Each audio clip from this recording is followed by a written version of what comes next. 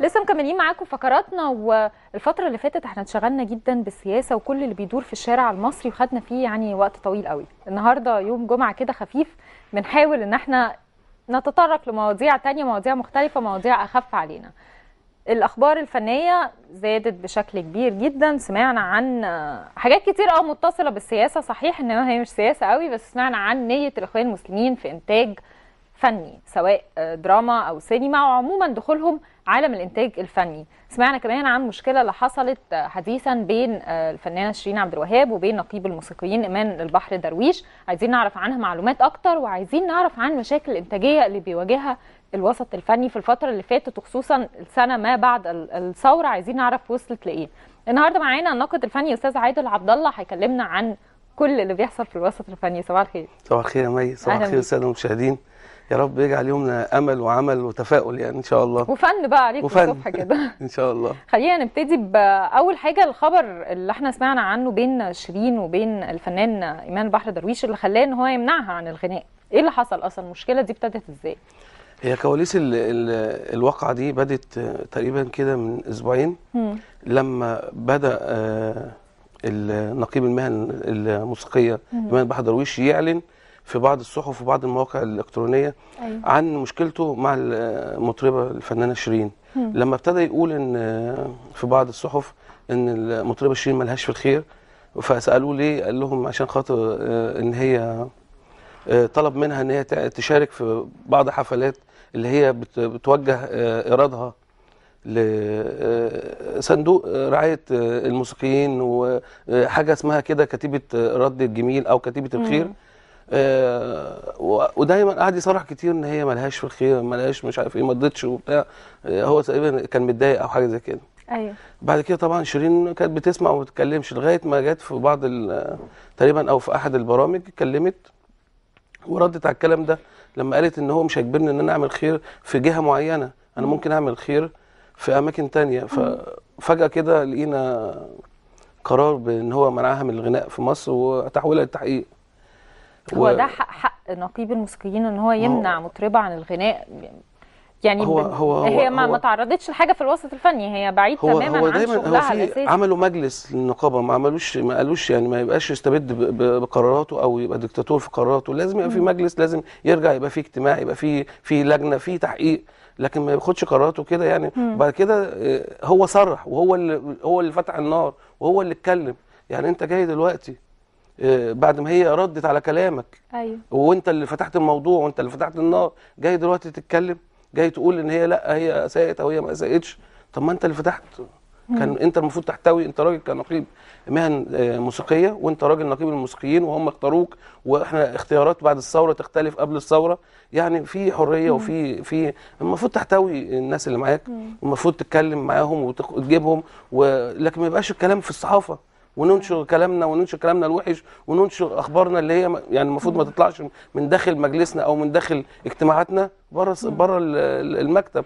لا تقعد مع الناس اللي بتاعتك وتجتمع بيهم وتقرب وجهات النظر وتشوف إيه المشكلة وتحتوي الناس اللي, اللي أنت شغال اللي أنت معاهم وتحل المشكلة. لكن ما نبقاش بقى إيه ده يرد ده على ده وده يرد على ده وده غلط مش صح. يبقى في الإعلام عموما يعني هو شايف إن دي إساءة ليه هو لشخصه؟ لا لا هو الغريب يعني اللي هو إيه إن بعض أعضاء النقابة زي مصطفى كامل زي دكتور رضا رجب بيقولوا إن هو أخذ القرار ده من غير من غير ما يرجع لنا. يعني هم كمان مش موافقين.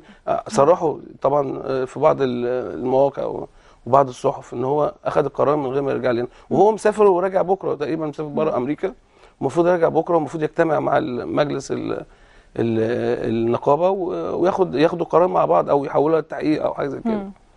أرجع أسألك تاني هل من حق نقيب الموسيقيين إن هو يمنع فنانة أو فنان من الغناء لا. فقط لأنه تعرض له لشخص يبقى في تحقيق بعد التحقيق بعد التأكد من صحة الكلام ده لأن هي قالت إن هي يعني إن هي قالت إن الصحافة بتزود الكلام أو الإعلام بيزود كلامه والكلام ده مش كله اللي هي قالته مش ما هاجمتش هي دافعت عن نفسها فقط لا غير.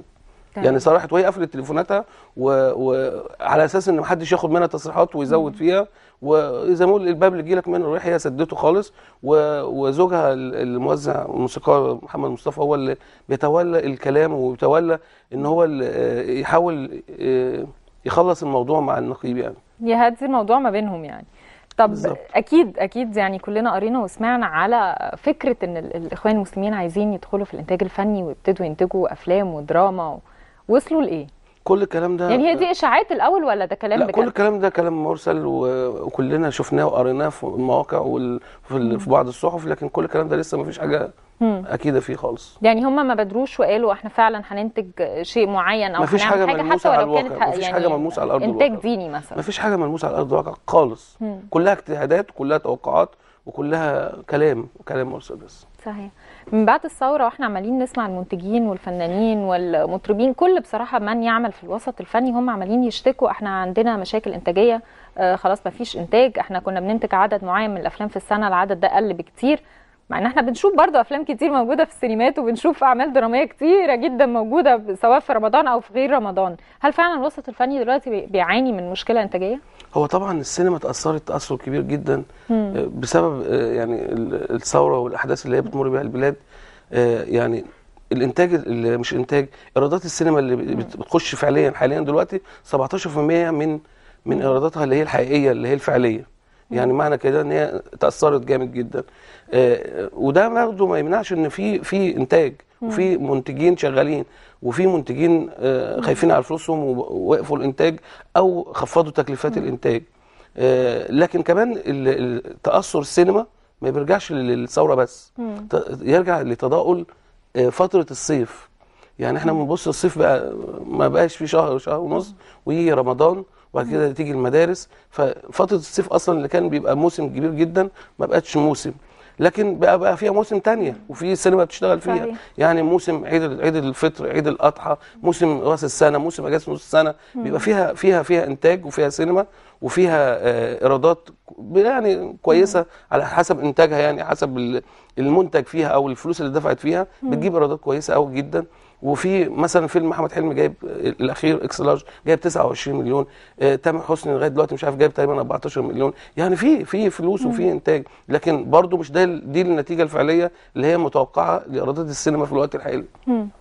لكن في حاجة تانية ال- الفنانين والمنتجين اتجهوا آه، اتجاه تاني في الفترة اللي جاية عشان تداول فترة الصيف اللي بنقول عليها أيوة. واللي هي الفترة ما بقتش آه،.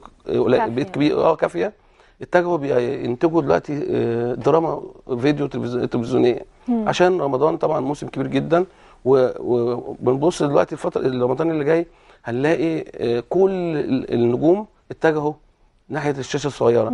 فهنلاقي هنحس بتخمة كبيرة جدا جدا الفترة الجاية لأن هنلاقي إحنا هنتكلم على على الدراما أكتر وخصوصا دراما رمضان. بس برضو عايزة أسألك في ناس كتير قالت آه ال- الحجم الفترة اللي بيفضل فيها الفيلم في السينما قليل قوي بالتالي المنتج ما بيبقاش متشجع إنه ينتج أو يعني يصرف كتير في ال في ال ال- يعني الناتج بتاعه أو الفيلم بتاعه. بس بنرجع نقول لأ طب ما مستوى الأفلام كمان ممكن يكون في مشكلة. يعني في ناس كتير ابتدت تبعد عن الأفلام المصري بتبتدي تتفرج على أفلام السينما ال- يعني الغربية وقالت لك لأ مستوى الفيلم ما بقاش لائق. ده حقيقي؟ ده حقيقي فعلا. آه، آه، يعني في الفترة اللي فاتت وجدنا إن فيلم شارع الهرم آه، بطولة سعد الصغير وبعض الفنانين حقق أعلى إيرادات في تاريخ السينما المصرية رد يومي يعني في تاريخ السينما المصرية. لما فيلم زي شارع الهرم يحقق أعلى إيرادات في تاريخ السينما المصرية ده طبعا يبقى في حاجة في حاجة مش مظبوطة.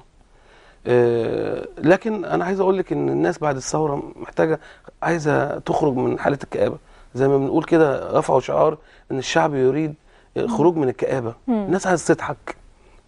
فالراجل اللي هو المنتج اللي اسمه محمد السبكي عارف تركيبة الشعب المصري. يعني أو عنده تقريبا سر الخلطة اللي يقدر ينجح بيها أي فيلم.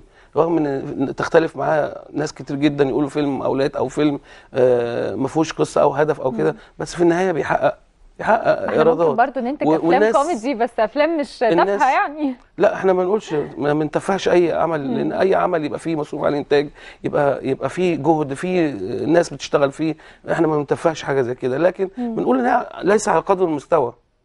اللي هو المطلوب. لكن بأمانة الناس محتاجة تخرج من الكآبة. يعني في فيلم برضو في في السينما اليومين دول آه، الناس دخلت فيه يعني أصحابه وصناعه بيقولوا إحنا عاملينه اللي هو آه، بنات العم. الناس بيقولوا إحنا عاملينه عشان نضحك عاملينه للضحك. ما فيهوش رسالة ما فيهوش مش هن مش هنقعد بقى نفتكس ونقعد نزايد ونقول رسالة وكلام زي كده. لا الناس طالعة عايزة تقول عايزة تضحك. الناس بتخش دخلته في السينما الناس كلها بتضحك. فالناس الناس خلاص بقى بتقلب التلفزيونات بتبص تلاقي ضرب هنا وضرب هنا وضرب هنا وح- وحرايق واعتصامات واضرابات. الناس زهقت عايزة تخرج بقى من الحالة دي عايزة تغير شوية الأشكال اللي بتشوفها عايزة تضحك عايزة يعني يعني ينسوا الهم شوية إن شاء الله لو ساعة ونص. وده حقهم يعني ومش عيب إن أنا أعمل فيلم من أجل الضحك فقط لا غير. وده موجود في ال في ال في في, ال في سينما هوليوود وسينما بره موجود أفلام بتبقى هدفها الضحك فقط. ده مش عيب يعني. خلينا برضو نتكلم على الدراما. قلت لي في ناس فنانين كتيرة جدا انصرفوا عن السينما وابتدوا يحضروا رمضان الجاي. زي مين مثلا؟ عندنا آه، الفنان عادل إمام آه، بيجهز في فيلم في مسلسل. أيوه. يعني من السنة اللي فاتت اللي هو آه، فرقة ناجي عطا الله. وبرضه آه ده بقاله كتير قوي. بصراحة بي- بس هو ابتدى. يعني خلص نسبة كبيرة فيه. و- ومفاجاه السنة دي برضه هنلاقي الفنان أحمد السقا. برضه اتجه للشاشة الصغيرة والفنان احمد محمد آه، آه، محمد سعد والفنان كريم عبد العزيز و يعني في في في نجوم اللي كنا بنشوفهم وننتظرهم من سنة لسنة في في أيوة. السينما دلوقتي اتجهوا لل- للتلفزيون وهنشوفهم في في التلفزيون في رمضان اللي جاي وبعد كده على مستوى ال- الجنس ال- الناعم في برضو منافسة خفية موجودة هنبص نلاقيها السنة دي منحصرة بين الفنانة الكبيرة يسرا في شربات لوز. والفنانة برضه كالعادة في في عبده وفي سمية الخشاب وفي غادة عبد الرازق والسنة دي عادت بمسلسلين إيمان العاصي بعد غياب أكتر من سنتين أو ثلاثة أيوه. ويعني هنلاقي برضه في منافسة وفي نيلي كريم وفي غادة عادل وفي عبلة كامل. يعني في في يعني منافسة. تقريبا اتكلمت على كل الممثلين الموجودين آه دلوقتي. آه بالظبط. في منافسة جامدة جدا وفي معركة معركة شرسة جدا واللي هيفوز فيها اللي هو ال- اللي هو ال- الفنان اللي يقدر يختار عمل جيد آه، عمل يناسب الشعب المصري ويناسب اللي هو ال- اللي هو اللي هم عايزينه في الوقت ده في الوقت الحالي واللي واللي واللي يأدي كويس واللي والإنتاج يكون كويس وساخي ف طب إحنا بنتكلم دلوقتي على إن كل نجوم ال- السينما هيشتغلوا في الدراما. وطبعا نجوم رمضان اللي بيجوا موجودين بيبقوا معانا كل سنة كمان نازلين السنة دي. بمسلسلات جديدة. التلفزيونات عموما هتستوعب كل ال- العدد ده من ال- المسلسلات والناس هتقدر تتابع كل المسلسلات دي في رمضان. ما أنا عايز أقول لحضرتك حاجة آه، إن الإنسان لما يجي يكون عنده آه، يعني سفرة مليانة بكل الأشكال بتحصل له تخمة لو دخل عليها كلها مرة واحدة. فعشان كده اللي هيقدر يخطف ال- ال- المشاهد من أول ع- أسبوع هو اللي هيفوز. بس في حاجة في حاجة في أكيد في اعمالها تتظلم لأن ما بتبانش ما بتظهرش قوتها أو أو قوة السيناريو بتاعها أو قوة الشغل من أول أسبوع. فأكيد الناس هتتابعها بعد رمضان. طب ليه المسلسلات دي ما بنشوفهاش؟ يعني يعني ليه لازم تنزل في شهر رمضان؟ قصدك يخلقوا ليه ما يتخلقش؟ موسم جديد لل-. للدراما التلفزيونية؟ يعني زي ما إحنا بنقعد 11 شهر بنتفرج على مسلسلات سوري ومسلسلات تركي وتقريبا اللي بيتابع مرة تانية المسلسلات المصري بيبقى يعني تخليص هو حق. هو طب المفروض ما- إن ال- ليه ما بتنزلش على السنة كلها؟ المفروض إن المنتجين يخلقوا يخلقوا موسم جديد. زي ما اتخلق في في السينما ما بقاش موسم صيف بس بقى موسم راس السنة موسم الفالنتين موسم آه، آه، آه، اجازه نص السنة. بقى في مواسم تانية غير موسم الصيف. أيوة. المفروض ال- المنتجين يحاولوا يخلقوا آه، موسم جديد في التلفزيون. لكن ده برضو يرجع لل للضخ الإعلاني. فالاعلانات كلها بتتجه وتصب في خلال شهر رمضان فبيبقى في مصاريف. ما وتكلفة المسلسلات بقت عالية جدا. ما يقدرش هو يغامر وينزل مسلسل كبير جدا ومصروف عليه ملايين ها؟ وفي وقت ما فيهوش موسم ما فيهوش إعلانات. وش والمحطات مش هتشتري ومش هتغامر برضه تذيع. مسلسلات مدفوع فيها ملايين في وقت ما فيهوش إعلانات. طب لو بنقول إن الضخ بتاع الشركات المعلنة قل جدا وإن المسلسلات زادت جدا هل في رمضان فعلا قنوات هتقدر تشتري كل الكم ده من المسلسلات ولا لا، هو- هو ممكن بقى في ساعتها يبقى في اختيار أكتر؟ الكثافه الإعلانية بت بت بترتفع في شهر رمضان طبعا بطريقة مولة جدا لأن كمان نسبة المشاهدة بترتفع. فالكثافه الإعلانات بتتجه في الوقت في التوقيت اللي هو دايما إيه اللي فيه نسبة المشاهدة كبيرة. يعني دايما خلال ماتش ماتش كورة تبص تلاقي نسبة الكثافة ال- الإعلانات كتيرة جدا لأن نسبه المشاهده كتير. آه، خلال فيلم جديد بينزل أي قناة تلاقي آه، لما بيحصل تسويق نسبة المشاهدة بتزي- بتزيد فنسبة الإعلانات بتزيد. فدايما بيتجهوا لل- للوقت اللي هو فيه فيه كثافة آه، كثافة مشاهدة يعني. يعني نقدر نقول الفترة اللي فاتت دي السينما يمكن اتأثرت شوية إنما سوق الدراما ما اتأثرش لأن هو كده كده سوق الدراما يعني بيبقى في رمضان. هو جايز اتأثر اتأثر بيه بعض ال- الفنانين لأن أجورهم ما أصبحتش نفس الأجور اللي كانوا بيتقاضوها قبل الثورة. اختلفت الأجور. اختلفت طبعا قلت. مم. يعني ال ال ال الأرقام ال- الخيالية اللي كنا بنسمعها ما بقتش هي الأرقام الخيالية اللي كنا بنسمعها. كنا بنسمع 40 مليون و38 مليون و30 مليون أرقام آه، خيالية ومهوله كنا بنسمعها بنضحك عليها يعني. دلوقتي ما أعتقدش هي الأرقام دي فعلا حقيقية ولا الأرقام دي إشاعات؟ لأن يعني برضو آه، في قنوات والقنوات دي بتشتري. يعني في الآخر المسلسل ده هو منتج. فما أعتقدش إن ممكن في قناة مثلا تشتري مسلسل 60 مليون جنيه أنا مثلا. عايز أقول لحضرتك حاجة كنت آه، يعني خلال بحث مع بعض المنتجين مم. قالوا لي اللي بياخد قرش بيقول 10 عشان يعلي نفسه في السوق. يعني اللي بياخد آه، آه. قرش واحد بيقول أنا خدت 10 عشان يعلي آه، يعلي نفسه في السوق ويقول لك أنا أنا باخد أعلى أجر وأخلى لكن ما بيحصلش الكلام ده. الأرقام دي خيالية ما حدش بيحصل. اللي بياخد 10 بيقول لك خدت 30 مم. بي- يعني على أساس إن هو إيه؟ يبقى أعلى أعلى واحد في السوق في الوقت ده يعني. واللي بياخد 30 يقول لك أنا خدت 50 برضه عشان يبقى أعلى واحد. فكلها لا.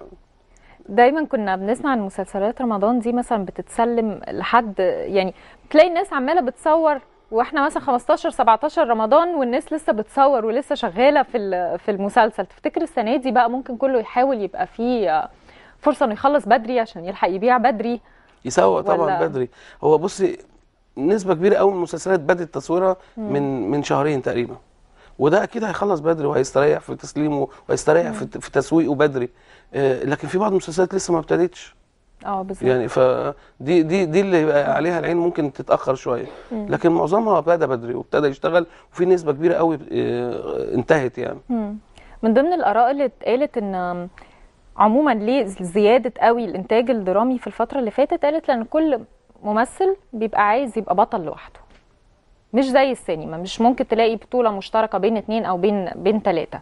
فتلاقي المسلسلات عددها زاد جدا مع إن كل مسلسل مثلا ممكن يبقى قايم على بطل واحد هنشوف ده في الفترة اللي جاية ولا يمكن عشان قلة الإنتاج شوية ممكن نلاقي لا أنا شخصيا اختلف. ضد إن واحد يقول إن البطولة منفردة. لأن ما فيش ما فيش فيلم بينجح ببطل واحد يعني هي الدراما أكتر من ال... من السينما اللي بنتكلم عنها لا كلها لا لا هي ما فيش هو ممكن يبقى في نجم موجود آه بس ما بينجحش لوحده زي لعيبة الكورة ما, ما بيوصلش ال- ال- ال forward بيجيب الجون لوحده مم. لازم آه، لازم زمايله من أول الحارس المرمى لغاية ال- ال- ال wing اللي جنبه بيخدموا عليه عشان يجيب جون.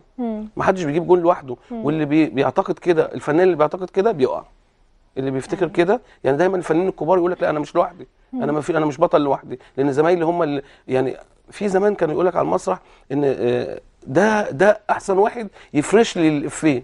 يعني بيساعدني. يعني زي ما بيقول لي بيجهز لي الكورة متشره أجيب فيها جون. فدول الفنانين اللي فاهمين كويس قوي. لكن اللي يفهم غير كده ده غرور واعتقد إن هو ده ما, بي ما بينجحش وما بيكملش. مفيش حاجة اسمها بطولة منفردة خالص. صحيح. يعني إحنا قربنا على موسم الصيف وإيه أهم الأفلام اللي هنشوفها؟ والله هو لغاية دلوقتي في أفلام آه، موجودة لسه ما لسه آه، ما نزلتش اتأجلت. وبعد كده آه، في فيلم آه، الفنان محمد هنيدي بدأ تصويره. اسمه تيتا رهيبة ابتدى تصويره مم. مع المخرج سامح عبد العزيز. ده ممكن يتشاف في الصيف. آه، في في- فيلم آه، ساعة ونص. ده فيلم برضو أعتقد إن هو هيكون علامة في السينما المصرية. إخراج وائل حسين ده في أكتر من 35 فنان. إنتاج ال- المنتج أحمد السبكي. ده من الأفلام اللي هتبقى هتبقى كويسة جدا. آه، في فنانين شباب كتير جدا. مم. ده برضه ممكن ينزل في الصيف. في فيلم بيتصور دلوقتي من أفلام اللي هي أفلام اللي هي الخلطة بتاعت أحمد السبكي برضه بتاع آه، اسمه آه، أربعة على واحدة سعد الصغير واللي هم ال- التوليفة اللي بيعملها بت بتعجب, بتعجب ناس كتيرة. آه، بعد كده لسه في فيلم طبعا المصلحة الفنان اللي فيه بيضم أحمد عز وأحمد السقا. ده برضه ممكن يبقى في الصيف. ده برضه من الأفلام اللي هتبقى نشوف كويسة نجمين. أخيرا في فيلم واحد. آه آه آه طبعا. آه يعني دول الأفلام اللي هم يعتبر اللي هي الرؤية بتاعتهم واضحة شوية. لسه بقى طبعا في ممكن نبص نلاقي عادل إمام يعمل فيلم. أصل الفيلم بياخد إيه يعني؟ ست أسابيع ولا حاجة وبيخلص تبص تلاقيه فجأة بقى. في تخيل ست آه. أسابيع للفيلم؟ وأحمد عز محدش عامل يتخيل فيلم ان الفيلم برضه ممكن يتعمل أحمد عز. عامل فيلم تاني برضه هينزل غير غير مصلحة. مم. تقريبا حلم عزيز. كده يعني. هو دي الأفلام اللي هي واضحة دلوقتي يعني. كناقد بقى تعتقد إن اما- فنان بينزل مثلا في سنة واحدة بمسلسلين في رمضان أو في موسم واحد بفيلمين ده في صالحه ولا مش في صالحه؟ لا هو اللي ممكن ينزل السنة دي بفيلم ومسلسل مم. آه، بصي عايز أقول لك حاجة الموضوع بقى تجاري شوية. آه، الفنانين يقول لك دلوقتي الفيلم اللي في إيد أحسن من عشرة على الشجر ففي في فنانين تبص تلاقيهم بيعملوا فيلمين وثلاثه لأن ما يضمنش ظروف طالما جه هشتغل. إيه؟ ما ين- آه ما يضمنش ظروف ال- الأفلام اللي هتنتج الفترة الجاية إيه؟ ال- ف- آه، الاخوان هيبقوا آه، يسيطروا إزاي؟ شكل البلد هتبقى إزاي؟ فتبص تلاقي الفنان بيعمل إيه بقى؟ عشان ال- الموضوع تجاري يعمل مسلسل ويعمل ثلاث إعلانات ويعمل مسل- علينا. آه مسلسلين إذاعيين ويعمل آه، آه، تبص تلاقي بيعمل كذا حاجة في السنة. ما بقتش مسلسل وفيلم أو فيلمين. لا ده أنت هتشوفيه على التلفزيون كل 10 دقائق في في في في إعلان. وبعد أسبوعين تاني تلاقيه غير من إعلان لإعلان. وبعد كده هتبص تلاقيه بيقدم برنامج. وهتبص تلاقيه في مسلسل. وهتفتحي ال- التلفزيون هتلاقي ال- ال- الفنانين. هتفتحي الثلاجه هتلاقي يطلع لك فيها فنانين. هتفتحي البوتاجاز هتلاقي. فالعملية بقت آه، لا مش موضوع بقى إن أنا أحرق نفسي وبتاع هو موضوع تجاري بالنسبة لهم خالص يعني. صحيح. آه، زمان كنا بنسمع إن الدولة ممكن تدعم فيلم معين أو يعني مش الدولة بتكلم على وزارة الثقافة ممكن إن هي تشارك في إنتاج فيلم فيلم معين عشان تعلي مستواه خصوصا الأفلام بقى التاريخية والأفلام الكبيرة الضخمة اللي بتحتاج إنتاج ضخم. هنشوف الفترة الجاية حاجة كده ولا لأ؟ كان زمان. كان زمان جبر يعني ولا كان زمان خلاص؟ كان زمان.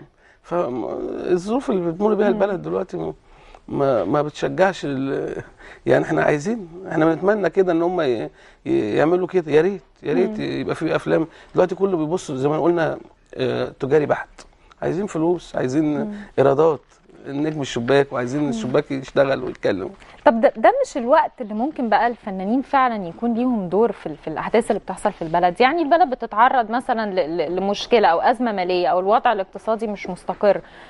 ما ينفعش دلوقتي يتدخلوا يتنازلوا عن جزء من من من من دخلهم عشان يقدروا ينتجوا حاجة كويسة وحاجة يعني تليق بمستوى ال- البلد. أنا عايز أقول لك حاجة. أنا أنا خلال كتاباتي بعمل حملة وعايز التلفزيون وكل النقاد يساعدوني فيها إن إحنا آه، لازم آه، نفتح صفحة جديدة وكل الفنانين يبقوا واقفين مع التلفزيون المصري. إحنا عايزين نوجه لهم نداء كده من مكاننا. عايزين الفنانين يوقفوا مع التلفزيون المصري. يساعدوا زي ما حضرتك قلتي يساعدوا يعملوا مسلسلات تبقى للتلفزيون المصري باجور رمزية. عشان التلفزيون المصري يبقى يرجع لمكانته اللي هي ده ده رائد من رواد ال ال ال الإعلام في الدول العربية. فلازم لازم الفنانين يعني يطلعوا في كل برامج ال- التلفزيون المصري مجانا. ما ما م- يعني نظرة تبقى تجارية. يطلعوا في البرامج كلهم يتبادلوا من هنا لهنا لهنا. يقفوا مع بعض نبقى إيد واحدة عشان التلفزيون المصري يرجع لمكانته اللي هي اللي كان بيقود فيها ال- الإعلام العربي كله. يا ريت يا ريت يا ريت الفنانين يتجاوزوا عن أجورهم في في إن هم إحنا دلوقتي بنسمع أجور خيالية عشان يطلعوا صحيح. البرامج. إحنا عايزينهم يبقوا معانا في الصبح في نهارك سعيد ومعانا بعد الظهر ومعانا في السهرة يبقى يتناوبوا في في ظهورهم في التلفزيون المصري ويتنازلوا عشان التلفزيون المصري يرجع في الآخر ده تلفزيون بلدهم يعني بالظبط. رد الجميل. ونفتح صفحة جديدة. خاصة. نفتح صفحة جديدة عشان نرجع لمكانته تاني. يا ريت صحيح. يعني. ناقد الفني أستاذ عادل عبد الله بشكرك جدا. على وجودك معانا النهارده كانت. الاخبار كتيرة ومتنوعة بس إحنا بقالنا أصل كتير ما اتكلمناش الفن.